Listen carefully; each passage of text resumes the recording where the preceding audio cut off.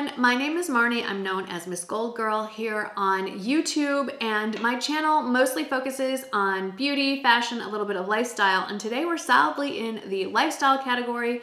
I recently purchased a Tesla, well specifically I leased a Tesla uh, toward the end of September and my regular viewers have been asking a lot of questions about Tesla ownership.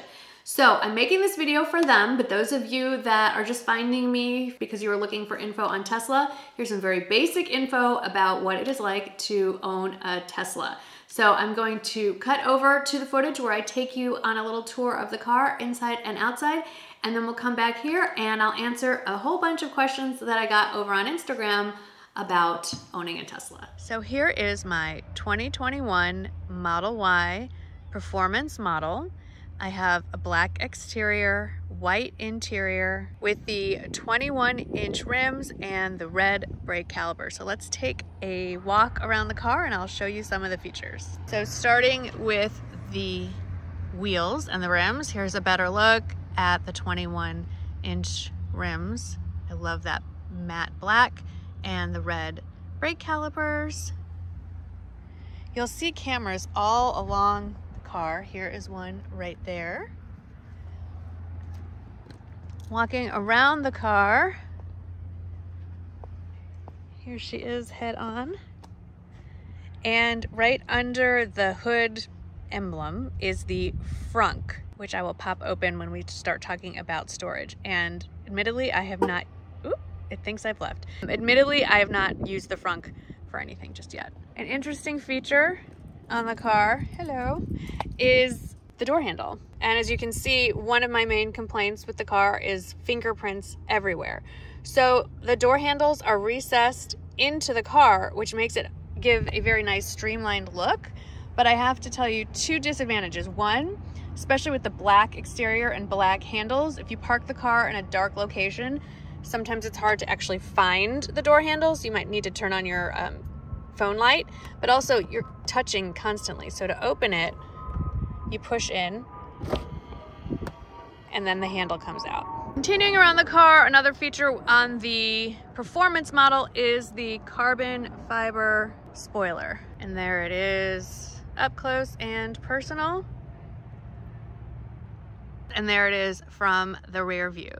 All right, before we climb in the car, let me show you the storage front and back. You can't, of course, open the trunk um, from the button inside the car on your app, or there's a button right underneath the ornament back here. Now mine is not gonna open all the way. There is a really cool setting that you can do on the trunk because I have set it so that it doesn't open fully, so it doesn't ding the top of my garage door. So I have it set where you can make it only open to a certain height. But here it is with the seats up. The major difference for me when I was deciding between the Model X and the Model Y is that the Y appears to have a little more cargo room, whereas the Model X can more comfortably seat seven people. Since I don't need to seat seven people, but I do need to get a Weimaraner and uh, two other dogs in here, I wanted more cargo. When we have the dogs in here, we pop the seats down and these are the buttons to make them go down. A nice extra feature is underneath this mat, which is extra. We paid extra for the WeatherTech type mat, is that's the actual part of the car. Sorry, I should have vacuumed a little before I saw you. But anyway, there's this flap here, and under this flap is even more storage. It's a pretty deep area and obviously we have some Tesla accessories that are um, for charging on the go, some cleaning cloths, and um, I think this is to inflate your tires. Luckily, I've never had to try it. I'm actually gonna start in the back seat because a lot of people never show you the back seat of a car. We rarely have anybody back here, but here you can see the white leather. That's not leather. They call this vegan leather. I call it pleather, whatever. It's not real leather. We did choose the white. I know a lot of people ask, Aren't you worried about it getting dirty? No, you can easily wipe it down with the leather wipes, all kinds of cleaners. Um, so no, I'm not worried about it. And it does have the system for putting in uh, child seats, not an issue for me. And then it does have two USB-C ports for the back passengers as well, which I really like. And all three of these seats are also heated. Actually, before we talk more about the inside of the car, this is essentially the dashboard. Um, we'll get back to this in a minute, but this is how you can open the trunk or the frunk from inside the car. You literally just go to the touchscreen, you hit open. Aha. So here's the frunk, the front trunk, if you will. And again, it's a very nice size. I like that it's lined. We did pay extra for the frunk liner and um, that goes along with the trunk liner and then the mats in the front as well. We were told this is a great place to store your leftovers from dinner if you don't want it to stink up your car. Since I'm here and I did get a lot of questions about maintenance, really one of the few things I need to deal with occasionally, I guess, would be the windshield wiper fluid, which is pretty easy to access here, obviously. All right, let's hop back in and I'll give you a little tour. First of all, there are the pedals. Technically, one is a brake and one is an accelerator, not a gas pedal because there's no gas in this car. Going to refer to it as the gas pedal. And speaking of gas, while there is no gas in this car, there are two engines. It's a dual motor vehicle, which is means it's really, really fast. Okay, so here is the front, same leather seats. Here's my view. Let me pan you out a little bit. Inside the car, as you can see, there's no dash here. There's no odometer, speedometer, monitors of any kind. Uh, there's nothing there, which does take a little bit of getting used to. Also, an adjustment for me was just getting out of the car. These are normal controls for window, but to open the door, there's no, well, there is an emergency lever, but you just push this button and then push the door open. So let's look at a few of the other cool features before we get to the main attraction. This is where both the driver and the passenger can set their cell phones and it's wireless charging, which is really handy. However, if you want to charge it while you're using it, the passenger, of course, there are two USB chargers here. The glove box is pretty huge.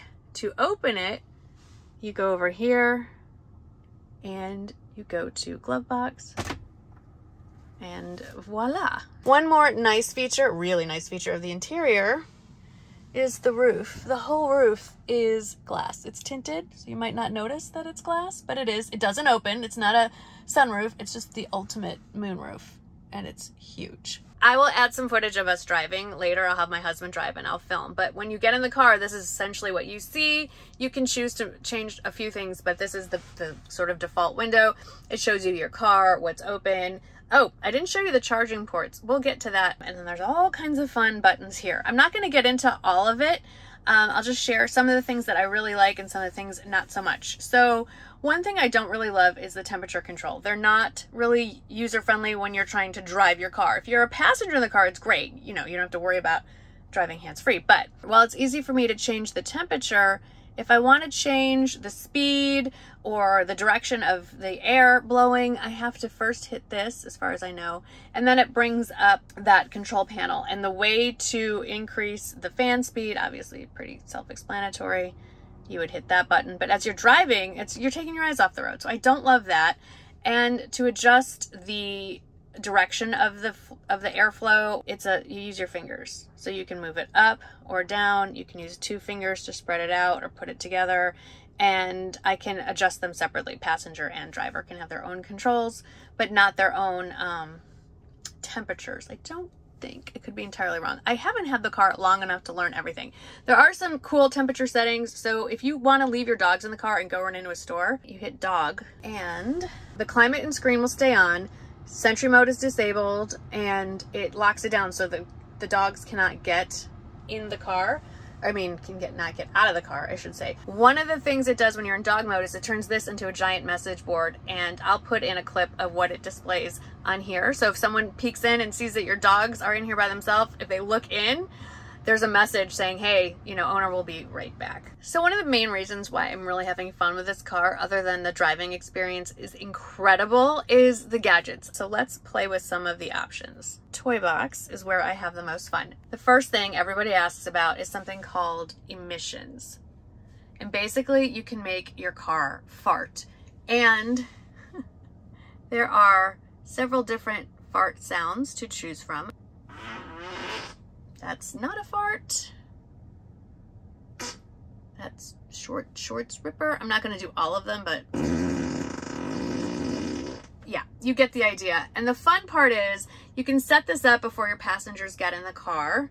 So let's, and you can make the sound come from underneath that seat with the fart on demand. So if I push a button here on the uh, steering wheel, that comes out. You can also make it come out of your car. Watch this. So we go over to Boombox and you can have different sounds, either replace the horn sound, add on to the horn sound. I were to honk the horn, we could hear this.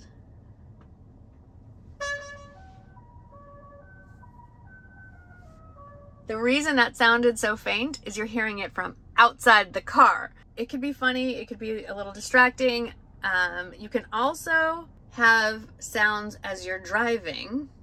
This one is pretty funny.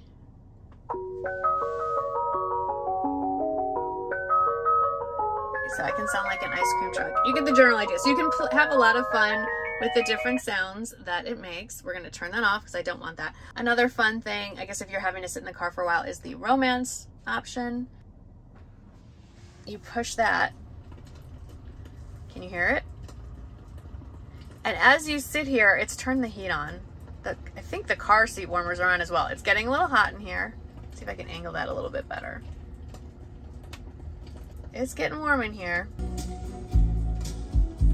So for copyright reasons, I'm not going to play this too long. So different romantic music will come out of it. One time I tapped it and it was playing Barry White. It's a lot of fun. So um, some of the other things, this, you can be your own little DJ, sketchpad option. Um, there's just a few fun things. There's also the entertainment option. And under entertainment, you have a whole arcade. You can use the touch screen or you can actually get controllers to hook up to this and play a whole variety of video games. This is nuts. This is obviously not operational while you are driving, but it can be very entertaining, especially if you're sitting in the carpool line with a younger child and they want to entertain themselves. So that's all the arcade options. But then in theater, look at that. You can stream all of those. And there are websites you can go to to actually add more apps to watch more things like ESPN or what have you. So one time we had to we had to use a supercharger a few times before we had the home charger installed in our house and we caught up on a bunch of Netflix. And when you play it, you know what, let me just show you real quickly. Okay, so I just pulled up something really quickly that no one will be offended by. The Great British Baking Show. So as you can see, the picture's fabulous and it takes up the whole screen. So, and it uses the car stereo, so you get great sound. I mean, it's a full immersive experience. In some ways, it's uh, better than what you might be having at your house. So you might be wondering where are all the controls? Well, down here, there's a bunch of options. So if you press that, it gives you all the basic controls, how to what to set your exterior lights and all those things. So one of the most common questions that I want to address here is how do you figure out where how to drive your car long distance? Where do you know when to stop? Well, for charging. Well, if you have this trip planner on here, when you type into navigate where you want to drive to that's long distance, it will show you along the route where the superchargers are and where they think you should stop to get to the point where you don't run the thing all the way down to empty. So that's pretty nice. And then as far as navigation goes, let's see. Oxford, Mississippi. Let's just go to the University of Mississippi and see how it shows you where all the superchargers are. It gets you to all your stops and it tells you how you can plot out your trip. And it'll tell you how long you need to stay at each charger to get enough charge to get to the next point. Now, as you can see, it does add a little bit of time to your journey. I'm gonna have my husband drive so that I can film and I'll show you what it's like to be on the road with this thing. So this is the view when you're driving the car. We're sitting at a stoplight right now and it's showing that there's a car in front of us and in fact there is. And you'll, oh, and here comes one See, it's showing other cars near us, which is kind of nice. It sort of looks like a video game. Up in the upper left of the screen is the speed. And you can see how fast we got to our cruising speed. And then you can see what the actual speed limit is. I think you can see the lines in the road. And you'll see a uh, speed limit sign pop up as we pass one. If you watch the screen, we're about to. There they are And you can see the yellow and red pop up around the car. That means that there's obstacles, in this case a curb, um, close to the side of the car. It's really like driving a video game. I would not recommend keeping your eyes on the screen. You should keep your eyes on the road. But here's what's happening in front of us. So you can get an idea of what it sees and what you see. One thing I wanted to show you, while the rear view mirror itself is actually a little smaller than I would like, you can get a much better look at your rear view if you hit the camera button. So what you're seeing is the, the camera out the rear of the car and this hits both your blind spots. If you really want to be safe when you're switching lanes and you're worried about your blind spots, you can pull the, pop that button as you're driving. It's that black one right there. And you can see that, or if you just want to see what's going on behind you. And this won't turn off as you're driving, which is a little bizarre and possibly distracting. But I have to tell you, a few times when I'm getting close to a stoplight and I feel like the guy behind me is just coming up on me a little too quickly, I have quickly switched over to the camera just to see how close is this guy coming. We're gonna show you how quickly it accelerates. Punch it.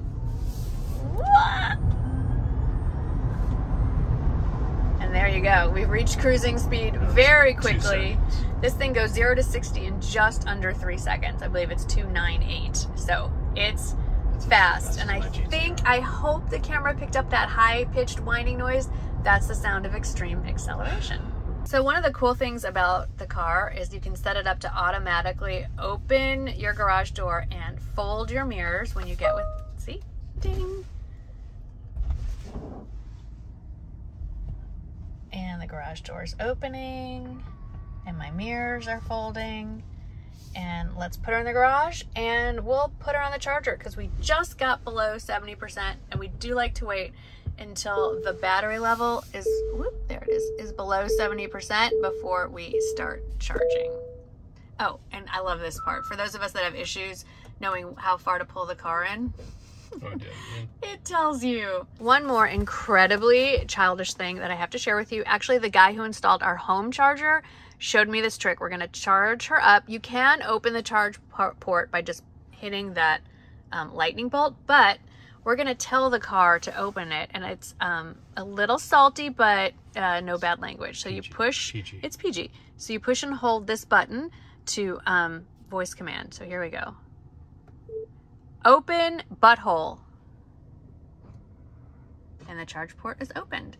All right that was my last supercharge. It's been a while already. Let's go charge her up. So here's my garage. It's not clean, but it works. So we had a home charger installed. It's not a necessity, but I cannot imagine not having one. I'll get into that in the sit down portion. It kind of looks like I have a little gas station here in my garage. So this cable comes out, basically looks like a gas pump. This cable is 25 feet long, which is great because I have a three car garage and I am parked um, in the farther end. And we're just going to pull this off. Here we go. We just put it in and you'll see the blue light change to green. And there we go.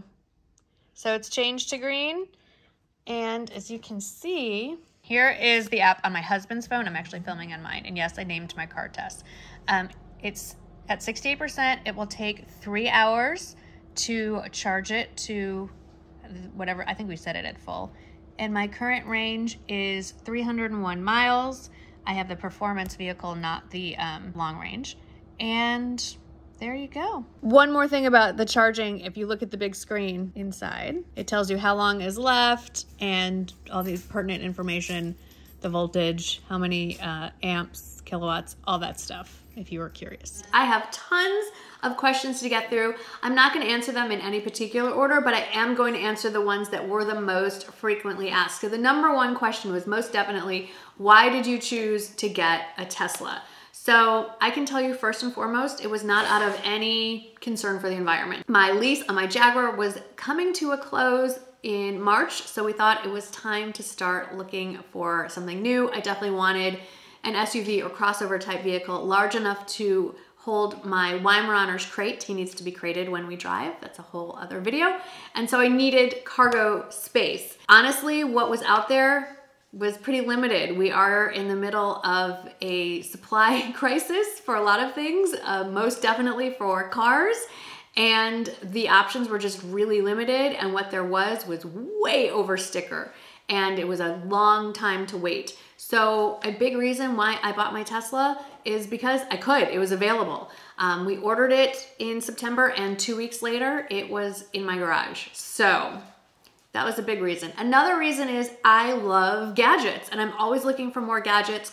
I loved my Jaguar as far as the driving experience went, but it didn't have a lot of fun gadgets. And if you're looking for gadgets, a Tesla pretty much has every other car on the road beat as far as I know. So that was a main factor as well. A lot of questions, a lot of questions about the range, how far does it go? Do I have range anxiety? That kind of thing. Can you drive it long distance?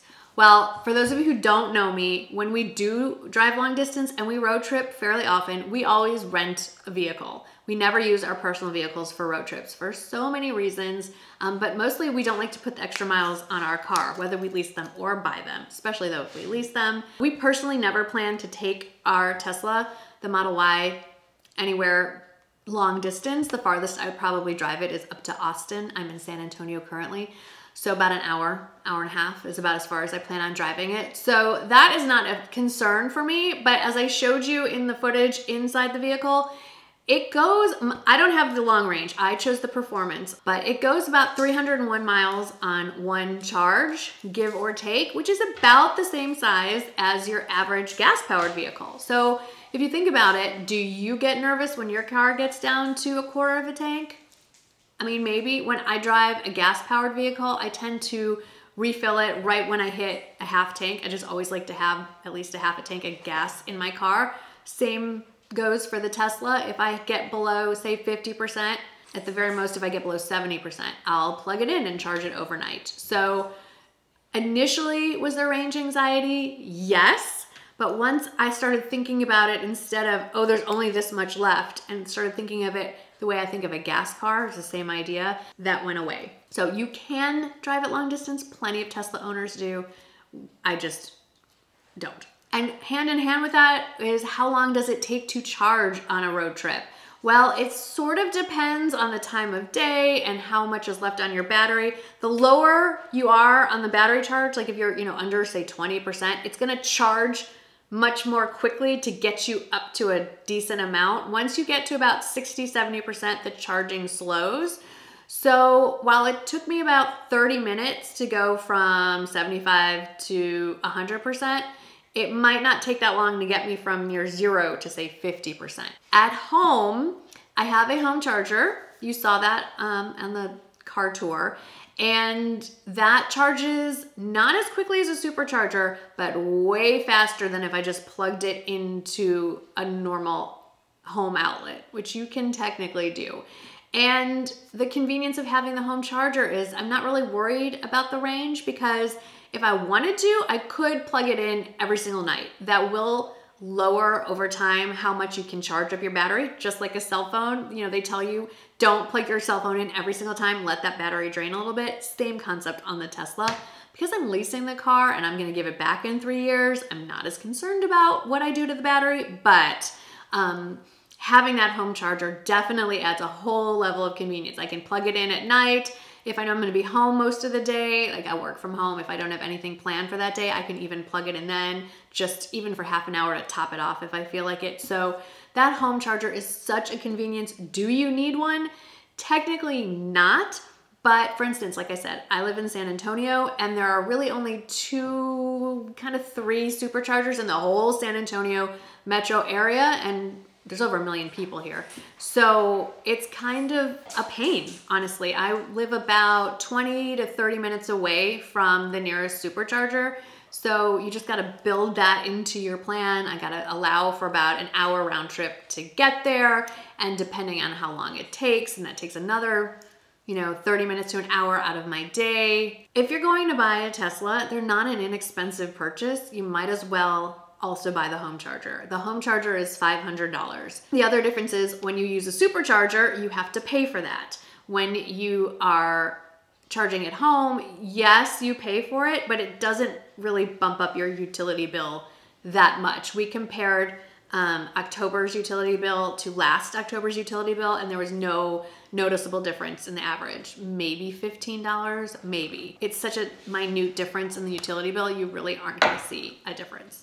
But speaking of the home charger, there were questions about the cost. So like I said, it's $500 just to buy it, and then it's gonna cost you some money to install it. And that all depends on your house. In my situation, I had the highest price possible because we have a detached garage and I don't have 220 volt current running to the garage. So we had to change the main box on our house and then we had to have them dig a trench and connect the new line to the detached garage. So that was about $3,000. If you're lucky enough to have an attached garage and you already have a dryer type outlet, like an outlet for a clothing dryer in your garage, it could be just a few hundred bucks. So it just depends on the circumstances.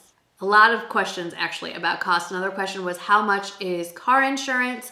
That all depends on where you live, of course, but I can tell you that the car insurance for the Tesla is less than what I paid for my Jaguar F-Pace. So that was a nice little break. And I think one more question about finances and cost was what's the ROI on your car and the ROI on the home charger? There is no return on investment in any car. The minute you roll that thing off the lot, the price, the value depreciates. So never look at a car as an investment opportunity. That's a terrible idea. Far better ways to do that.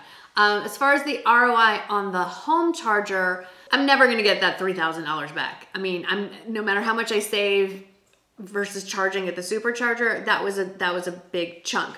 To be honest though, we leased the Jaguar and when we called the dealership and asked if we could turn the car in early, not only did they say yes, but they gave us $5,000 on top of that for turning it in early because there's such limited inventory. So made a little money on that and then used some of that to cover the car uh, charging installation. Even so, the home charger, um, I don't look at it as a return on investment as far as finances, but as far as time, my time, and just the comfort of knowing I can charge my car whenever I feel like it is definitely worth I can't imagine owning a Tesla and not having access to a home charger.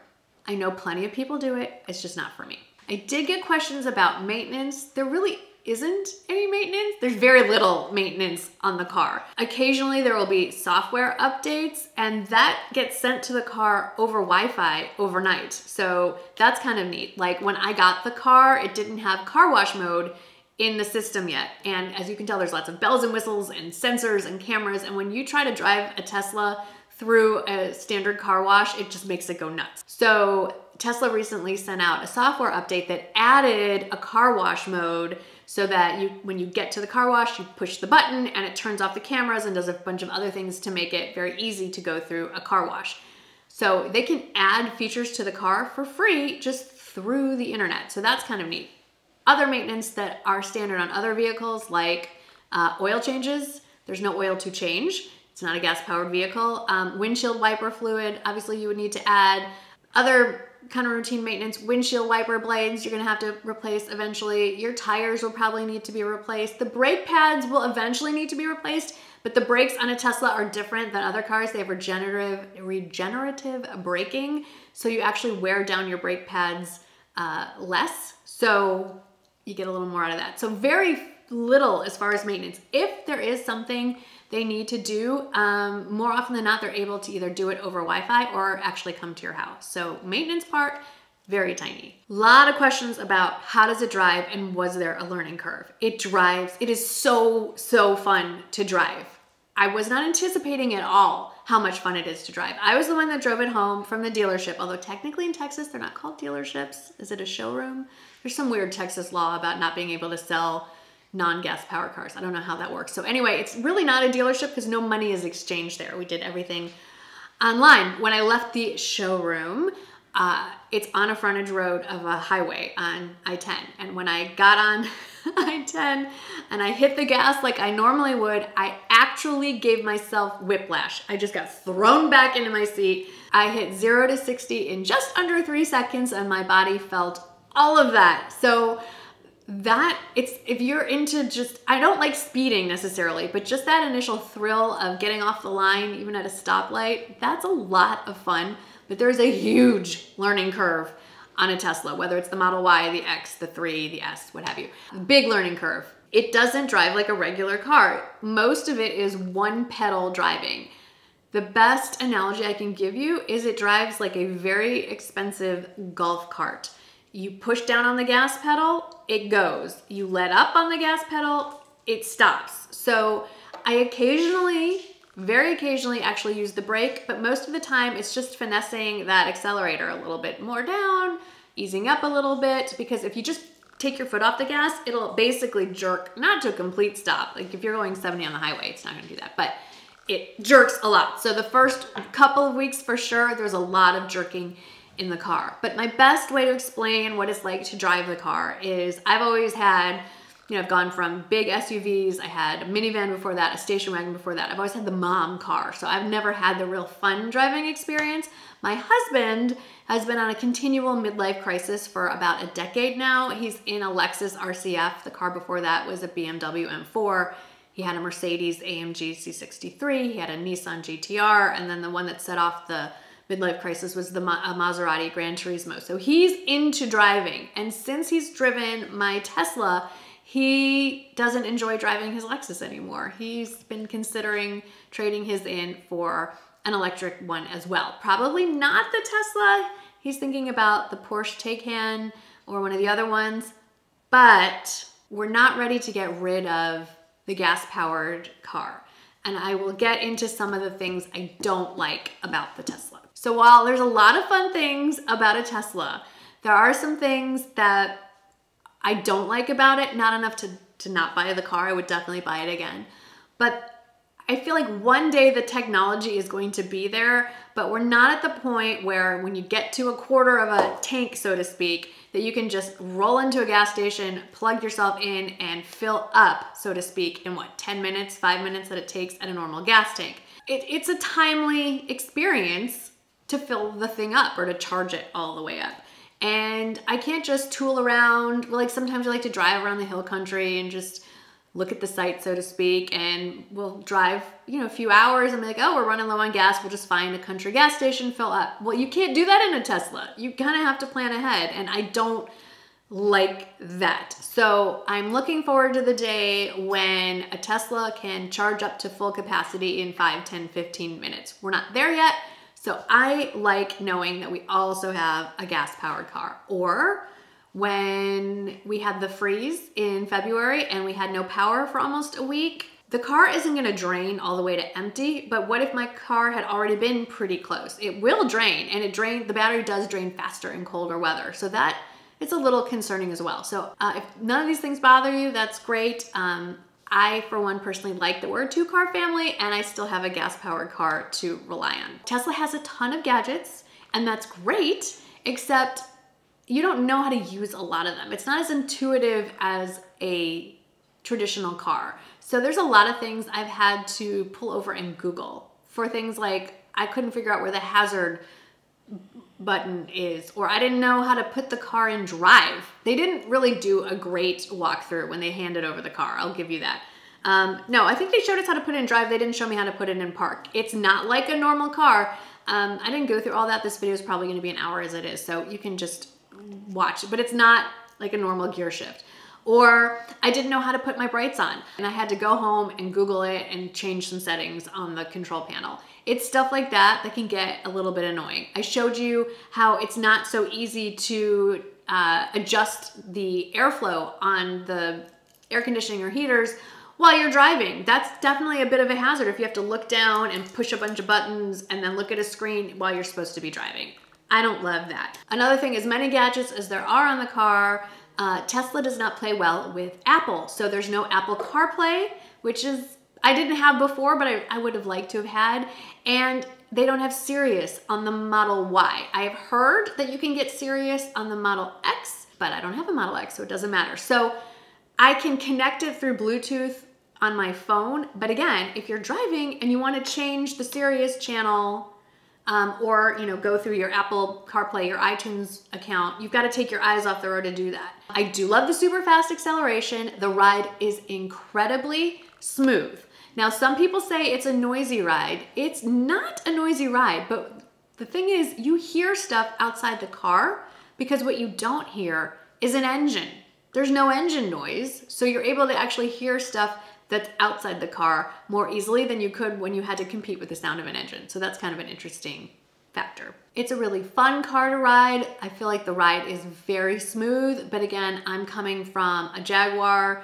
Um, even though it was an SUV, it's still a sporty car, so it's a little more bumpy. I opted not to upgrade to the full self-driving capability. If I want to, at any time, I get on my Tesla app, I scroll up to upgrades, and it has software upgrades and accessories. And if I just click software upgrades, I just hit that buy button. I have a credit card linked to my Tesla account, and I can just add full self-driving capability for the low, low price of $10,000. Um, my husband is constantly reminding me, do not hit that button. But I think it's kind of neat that you can almost basically change your car. Like if I were in any other kind of traditional car and I wanted to add features to my car, I'd have to go buy a new model. But the Tesla allows you to upgrade and they're constantly coming up with free upgrades.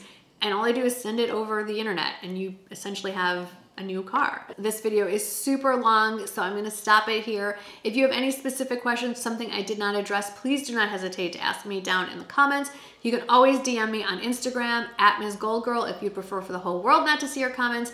I actually end up seeing Instagram far more quickly than I see YouTube, so if you need something answered in a hurry, you can always message me over there. Thank you for watching today. Thanks for hanging out for a super long video. I hope you enjoyed it, learned something, and if you are a fellow Tesla driver, say hey. Thanks for watching, guys, and I'll see you in the next one. Bye.